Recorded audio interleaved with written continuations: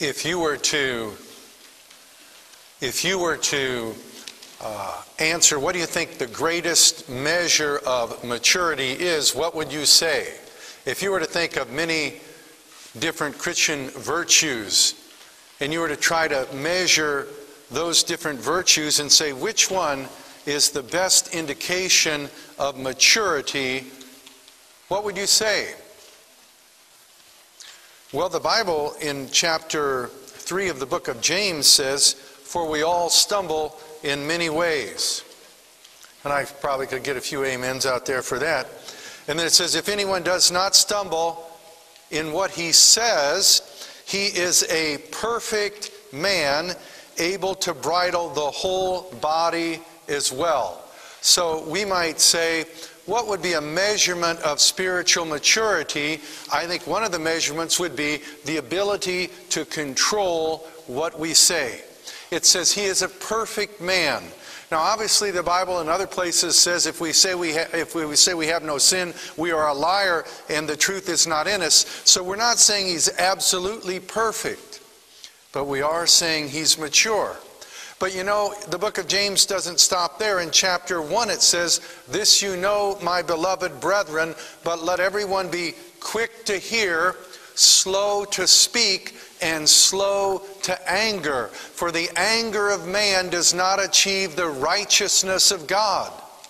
So, not only controlling our speech, but also it says controlling our anger is a great measurement of spiritual maturity. So, how would we define, how would we describe, how would we say somebody who is spiritually mature? What would they look like? What would they be like?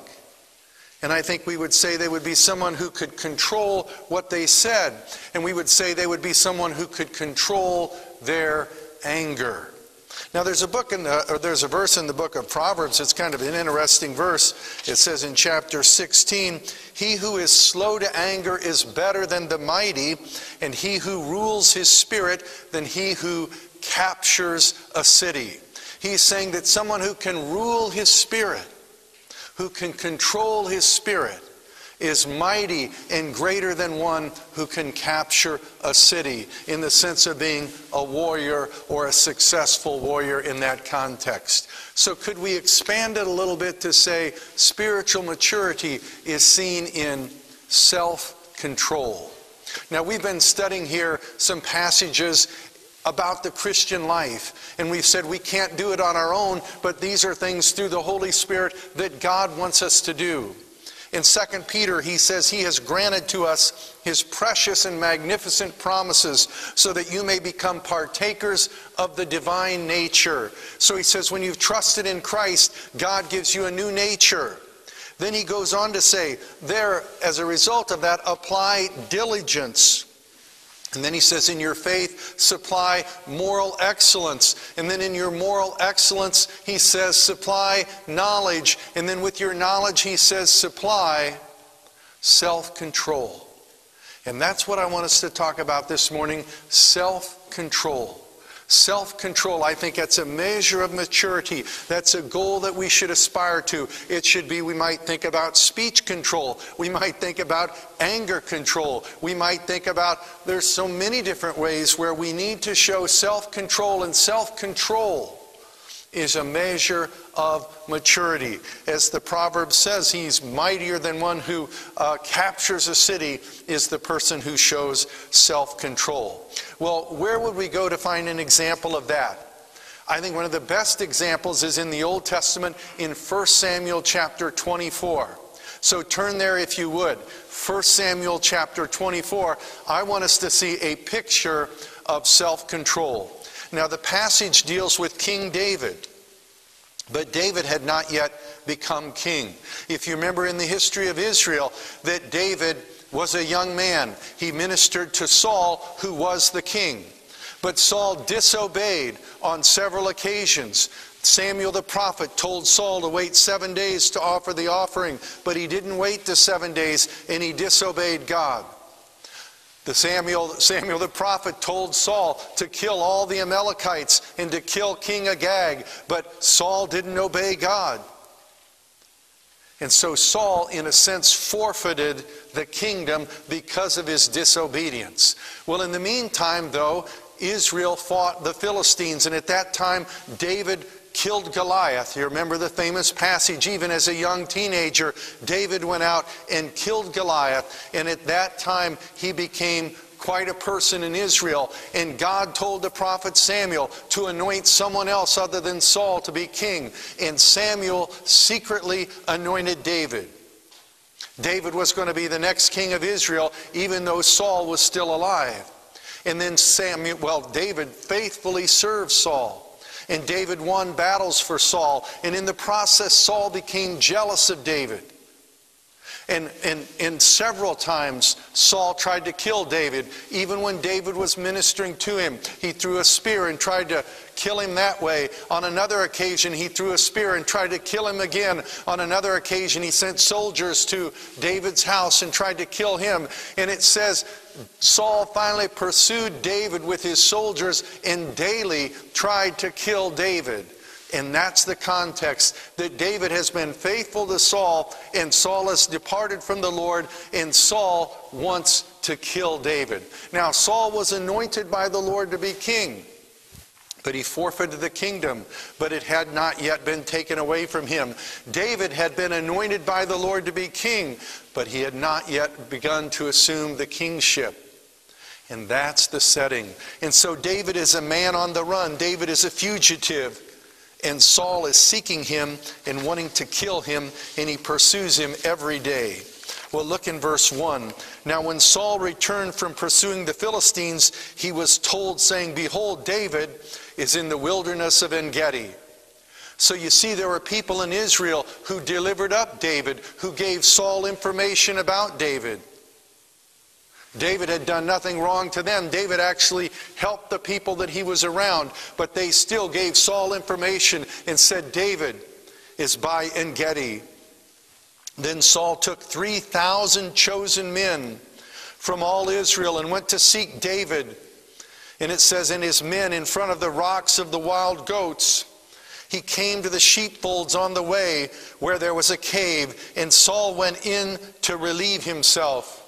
Sounds kind of funny to us, but the idea here is that Saul, with his 3,000 men, was pursuing David, and yet along the way in that area, he went into the cave. Maybe we might call it a rest stop or something like that. But Saul went in to relieve himself. Now, David and his men were sitting in the recesses of the cave. What an amazing circumstance. And it says in verse 4 The men of David said to him, Behold, this is the day of which the Lord said to you, Behold, I am about to give your enemy into your hand, and you shall do to him as it seems good to you. His men said, David, this providential act of God is unmistakable, that God has clearly delivered Saul up to you. And this is the day that God said he would deliver your enemies into your hands. Now, as I've read through 1 Samuel, I can't find a passage where this was ever said. I can't find a passage where it specifically says that God was going to deliver up David's enemies into his hand. Now, God was speaking through Samuel, and the implication that God would prosper David, that God would bless David, that's clearly there. But there's not that I can find a specific passage. So the friends say something here that sounds kind of right, but not exactly right. The idea is that God's going to watch over and bless David. That's true. But there's not a specific place that I have found where this particular quote is given. Again, they said, This is the day of which the Lord said to you, Behold, I am about to give your enemy into your hand, and you shall do to him as it seems good to you. Now, even Jonathan, Saul's son, said to David, You'll be king. And Saul's son, Jonathan, said to David, You know, the Lord's going to prosper you. But there is no passage that I can find that says what they said. And so, even though the general sentiment of what they said is basically true, there is no passage where the Lord specifically said that. And that's probably important. because sometimes people will claim to quote Scripture and it won't be Scripture.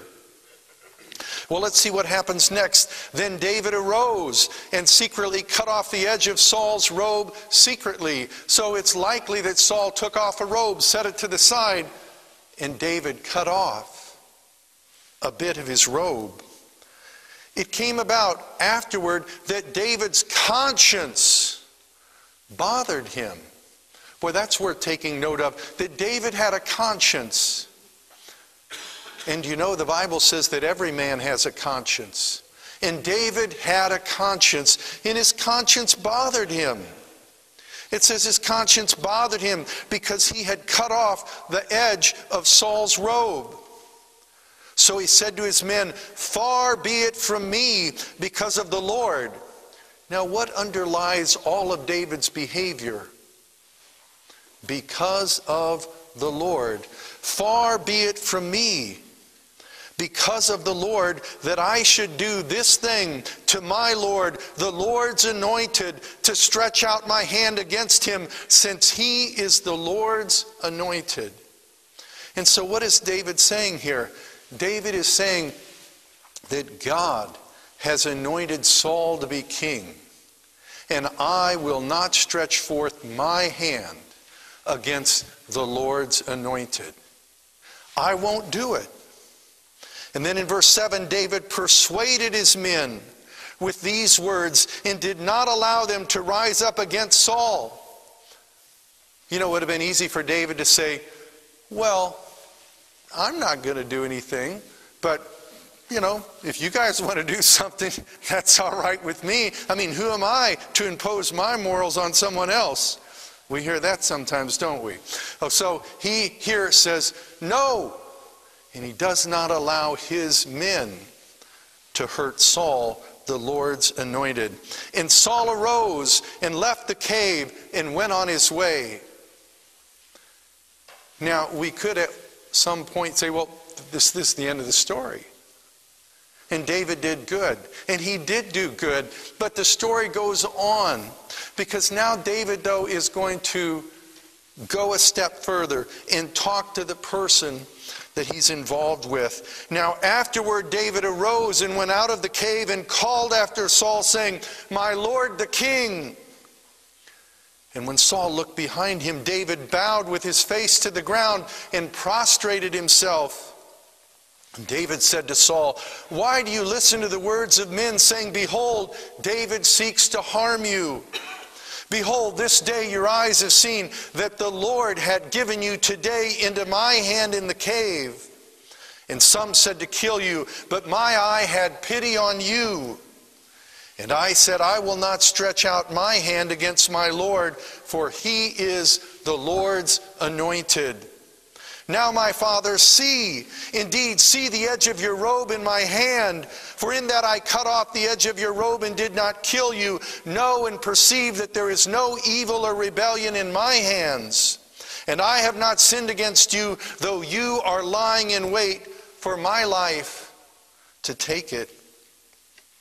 And now in verse 12, David raises the we might say, the audience, because now he appeals to God, not just to Saul.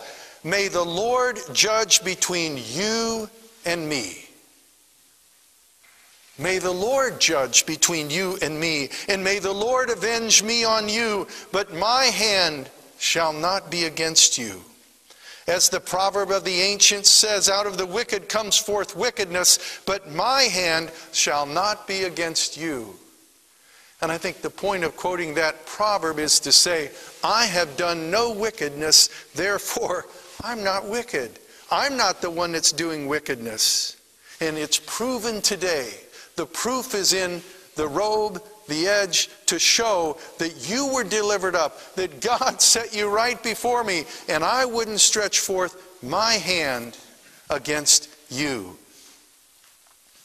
After what has the king of Israel come out? Whom are you pursuing? A dead dog? A single flea? In other words, David says, I'm insignificant. You're the king of Israel, and you've got 3,000 men, and you're pursuing me. I'm like a, a single flea. I'm a dead dog in comparison. The Lord therefore be judge and decide between you and me. And may he see and plead my cause and deliver me from your hand. Well, what will Saul do? When David had finished speaking these words to Saul, Saul said, Is this your voice, my son David? Then David, excuse me, then Saul lifted up his voice and wept. Isn't that interesting that Saul, who's dead set in doing wrong at this point, was touched by David's righteousness. And he said to David, You are more righteous than I, for you have dealt well with me, while I have dealt wickedly with you. You have declared today that you have done good to me, that the Lord delivered me into your hand and you did not kill me. David said the Lord did it. Saul said the Lord did it. David's men said the Lord did it. There was an unmistakable providential work of God where he delivered up Saul into David's hand. And yet David did not raise his hand against Saul. It says in verse 19, For if a man finds his enemy, will he, will he let him go away safely? May the Lord therefore reward you with good in return for what you have done to me this day. So Saul, in effect, blesses David and calls upon God to bless David for what David has done. Now behold, I know that you will surely be king, and that the true or that the kingdom of Israel will be established in your hand. And then an unusual request. Saul, who appealed to David, says, So now swear to me by the Lord. Now, Saul doesn't directly talk to the Lord, but he appeals to David. David appealed to the Lord. But Saul says, Swear to me by the Lord that you will not cut, not cut off my descendants after me, and that you will not destroy my name from my father's household. So Saul can see that God will elevate David, and he prays that God would not destroy all of Saul's offspring when Saul is gone. And David swore to Saul. And then it says, And Saul went to his home. But I think with significance it says, And his men, but David and his men went to the stronghold. Why didn't he go back with Saul? I don't think he still trusts Saul. And he has good reason not to, because Saul will try to kill him again. But as we study this passage, what do we see here? We see that David has a remarkable self control. We see that Saul is a man who had consistently done him wrong we see that David had done no wrong. We see that everybody agrees that this was providentially ordained and orchestrated, that David and his men are hiding in a cave, that Saul has 3,000 soldiers. But Saul singly goes into the cave and is delivered up. And it would be very easy for David to kill him. And if David didn't want to kill him, he had several friends that would have been very happy to do that for David. And yet David doesn't do that. And notice he, he goes against the advice of his friends. He actually goes against the clear providential actions and circumstances that he finds himself in. He goes against the misquoted word that the friend said the Lord had said. The Lord had not exactly said that. Now, how does he do that? And why does he do that? Well, I think there's some clues in several places in Scripture. Why doesn't he think he should touch the Lord's anointed? And as I study the scripture, there's not a specific verse that says that, but in Exodus chapter 22, verse 28, it says, You shall not curse God, nor curse a ruler of your people. So clearly, the Word of God, the Word of God, not somebody's attempt to quote the Word of God, but the Word of God itself says, You shall not curse a ruler of your people. God had established Israel as a theocracy. God is the one who put kings in place, and it was God's job to take them out of place. And He says, You shouldn't even curse a ruler of your people. Now, if you're not supposed to curse a ruler of your people, would it be okay to kill a ruler of your people? And I would say no.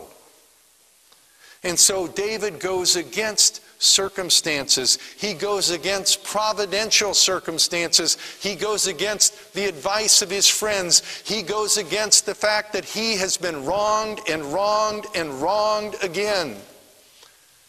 Because he believes in the Lord, he fears the Lord, and he believes in God's word. There's another passage in Exodus where it says, He who strikes father or his mother, he who strikes his father or his mother shall surely be put to death. He who curses his father or his mother shall surely be put to death. Now, clearly, Saul wasn't his father, even though I think he called him father, and David wasn't his son, even though Saul calls David his son. But the point is, if it's true with a father and a mother, the idea that Saul's a ruler of the people and is one to be respected. And David then, I think, submits to God's word. I think we can see also, if you look on your handout, we can see that he's obedient to the word. He has faith in the Lord. And there's a clue in chapter 26, because if you read on in 1 Samuel, there's a very similar circumstance that comes about later. Not exactly the same. Maybe that can be your homework this week. Read verse chapter 26. But in chapter 26, a very parallel situation will come about where David could also take Saul's life.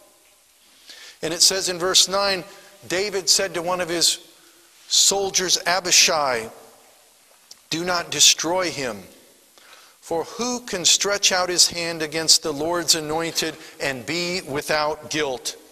David also said, As the Lord lives, surely the Lord will strike him or his day will come that he dies, and he will go down into battle and perish. The Lord forbid that I should stretch out my hand against the Lord's anointed, but now please take the spear that is in his head, that is at his head and the jug of water, and let us go.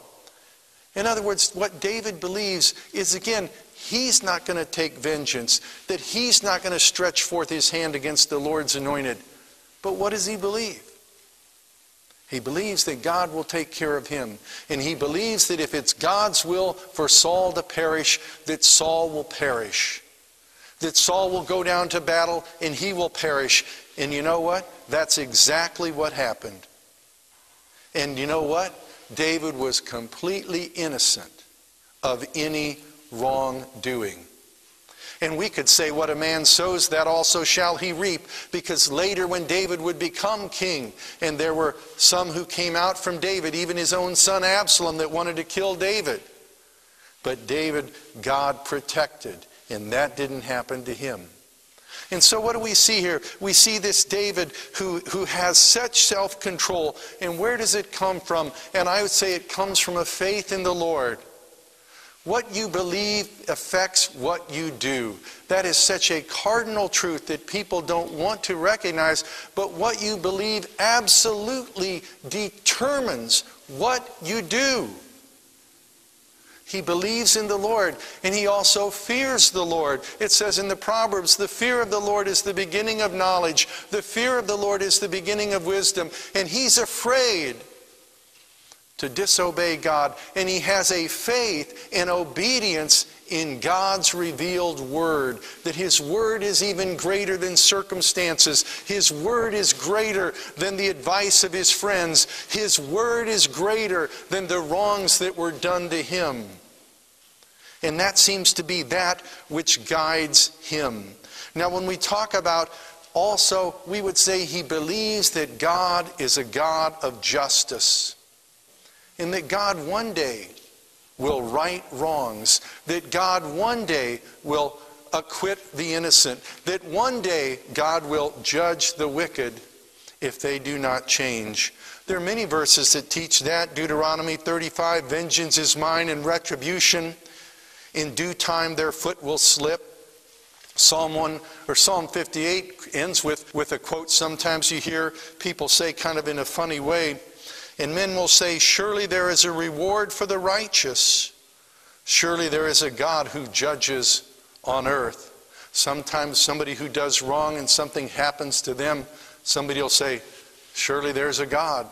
And that's where I think that quote comes from the idea that God does ultimately judge the wicked. Well, we'd also say, where does this come from? I'd say it comes from the Spirit.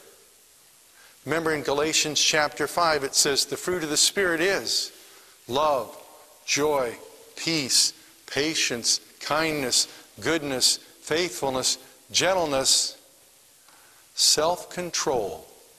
Against these things there is no law. What does he mean by that? He's saying this is the fruit of the Spirit. And isn't it worth noting that the last thing on the list is self control? I don't think that's because that's the least important thing. We might even argue it's one of the most important things. So, self control, self control, control how we speak, control our anger. Should it control the things we look at? David says in Psalm 101, verse 3, I will set no worthless thing before my eyes. Should it control where we go? If we want to be controlled by the Spirit, it says in Ephesians chapter 5, do not get drunk with wine, for that is dissipation, but be filled with the Spirit. In other words, self control is being filled with the Spirit and under control. Being drunk with wine is the opposite of that. As I was thinking about self control, I was thinking, why do people get out of control? What do you think the number one reason why people get out of control is? And this is just my, my, uh, my opinion. It's funny, when I was re researching for this, I was looking up things on the internet, road rage. I mean, if you want to look up road rage, it's unbelievable the things you can look up out, about road rage and how people's lives are just changed in an instant. The rest of their life can be ruined because of lack of self control in road rage. I mean, kind of on a funny note, people, you know, there was one guy, they called it appliance range, uh, rage, appliance rage. He, he threw his washing machine out of his door down the steps and fired three shots of a gun into it. And the police were called because he was so mad at his washing machine. I've never heard of appliance rage before. I mean, I heard of some people that uh, read about critically injured because of a, a a soda vending machine because they didn't get the right change and, and were shaking the machine and it tipped over on them. Uh, I mean, so it's funny. It's not that it happened, but it is kind of funny to think about. But, but anyway, so why do, why do these things happen? And I would say probably the number one thing I think is anger. Anger has to be pretty high on the list. Anger. But if we believe in God and fear the Lord and obey His word and filled with the Spirit, I think God can help us with our anger. And it says, the anger of man does not achieve the righteousness of God. It's worth noting in history, Dwight Eisenhower was a young boy who was, had a terrible temper. And he was so angry one day that his parents wouldn't let him do something. He was 10 years old and he started punching a tree, which again, usually you don't come out ahead doing that. And he bloodied up his hands. And his mother, well, he, he, he got spanked and was sent to bed, and his mother kind of consoled him and had him memorize one of the verses that we looked at earlier. He who is slow to anger is better than the mighty, and he who rules his spirit than he who captures a city. Isn't it interesting that the Supreme Allied Commander at age 10 was memorizing a verse that he who rules his spirit is better than he who captures a city, we might say who captures a continent. In other words, self control is very important. But not only would we say just anger, uh, what else causes problems? Well, I'd go with the Ephesians verse where it talks about do not get drunk with wine.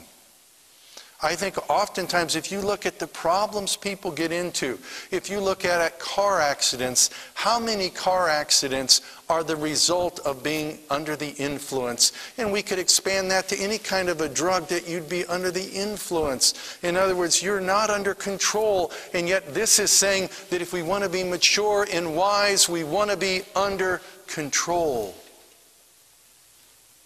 So anger, we could talk about influence of alcohol. We could talk about the influence of friends. It says in 1 Corinthians chapter 15, do not be deceived. God is not mocked. Bad company corrupts good morals. In other words, sometimes the people we're around influence us in a negative way, and we need to be careful. We could go on and on. I think, you know, it talks about the lust of the eyes, the lust of the flesh, the boastful pride of life. Those are all areas where we're vulnerable to. But here he's saying the man of God, the woman of God, is someone who is able to exercise self control. Now, the passage we looked at in the beginning in 2 Peter says, If these qualities are yours and are increasing, they render you neither useless nor unfruitful in the true knowledge of our Lord Jesus Christ.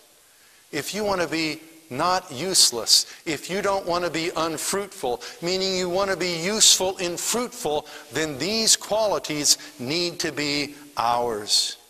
And we've talked about diligence and we've talked about faith and we've talked about moral excellence and we've talked about knowledge. And we're talking today about self control. God can help each one here with self control if we come to Him. Sometimes the beginning of victory is recognizing a problem. If this is a problem, and who isn't it a problem for in some way? Recognize that God can help us with this as we come to His Word. And of course, who's the perfect, the greatest example of the one of self control? Well, we read in Isaiah chapter 53 about the Lord Jesus, and it says about him, he was oppressed and he was afflicted, yet he did not open his mouth like a lamb that is led to slaughter, and like a sheep that is silent before its shearers, so he did not open his mouth. His grave was assigned with wicked men, yet he was with a rich man in his death, because he had done no violence, nor was there any deceit in his mouth. Isn't that interesting? His mouth, his mouth, his mouth was under control. He's the perfect example of self control in every way. And why did he have such self control? Why didn't he open his mouth? Because when he went to the cross, he was bearing the sin of the world and he couldn't complain because the sin of the world was justly being punished. So, why was he the one who silently suffered? Because the suffering was necessary and the suffering was just, not for him, but because he took your sins and suffered in your place. So, as we conclude this morning, two things I want you to think about self control yourself, and have you trusted in the one who died in your place and paid your penalty? If you do, the Bible says you're forgiven. If you don't, the Bible says you're not forgiven. And it even goes on to say, the wrath of God abides on you. He who believes in the Son has eternal life. He who does not obey the Son, the wrath of God abides on him. It's quite simple. What category do you find yourself in? I would invite you to trust in him. Let's pray.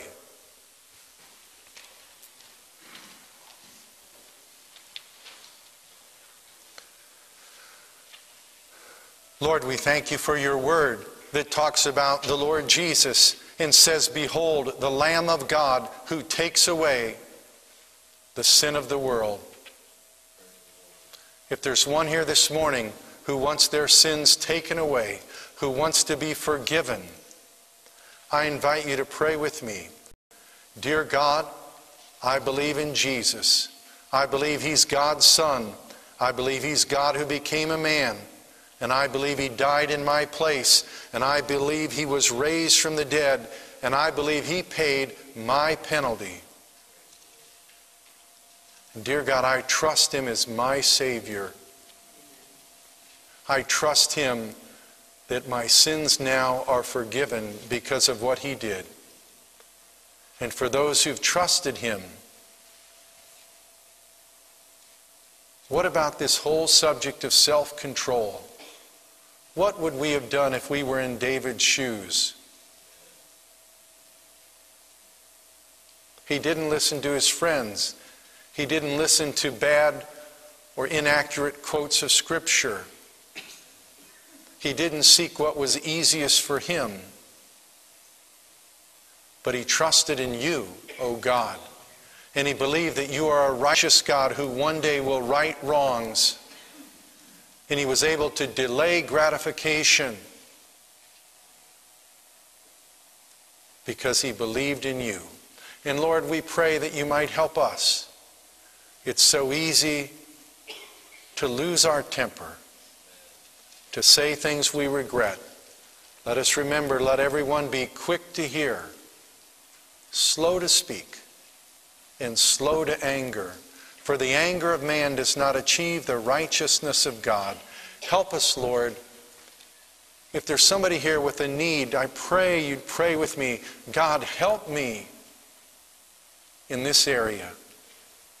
Help me not to lose my control, whether it's because of anger or friends or alcohol or whatever it might be.